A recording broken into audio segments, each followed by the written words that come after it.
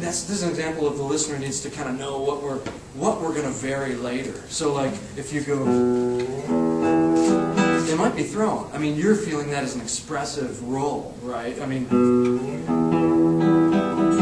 it feels so good to do that, but maybe do it later. You know what I mean? Because if we do it right away, they might think it's an extra eighth note or something. They really want to know.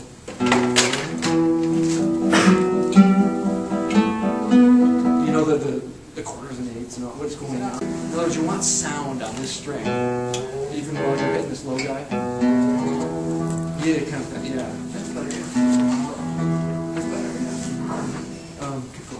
Go ahead, go. See how there's a little gap there? That's what we're trying to avoid. I know I'm being picky about that. Yeah, I think it was Singer. A bit, uh, uh, well, you a yeah.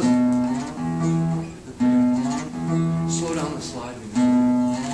Well, that's, that's good. You- if- that's better, yeah. Maybe we're thinking about it too much, yeah. Just connect this. Ah,